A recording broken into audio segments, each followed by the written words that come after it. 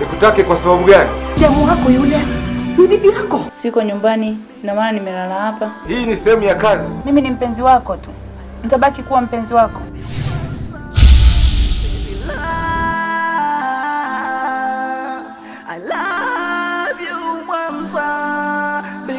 Unajua mimi nilihisi ama pengine nilijua kwamba watu wanaoteseka katika mapenzi pengine ni wanawake tu.